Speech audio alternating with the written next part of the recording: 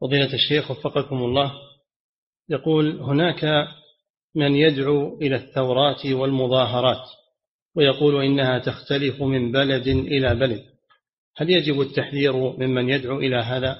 نعم الثورات ما فيها خير في كل البلدان. الثورات ما فيها إلا سفك الدماء وتخريب الديار وإتلاف الأموال وانتهاك الأعراض. لا تجوز الثورات. المشروع الجهاد. الجهاد في سبيل الله بشروطه جهاد الصحيح الشرعي هذا هو المشروع. أما الثورات والفوضى هذه كلها شر ولا تأتي بخير وليس لها نتيجة ولا ثمرة. نعم.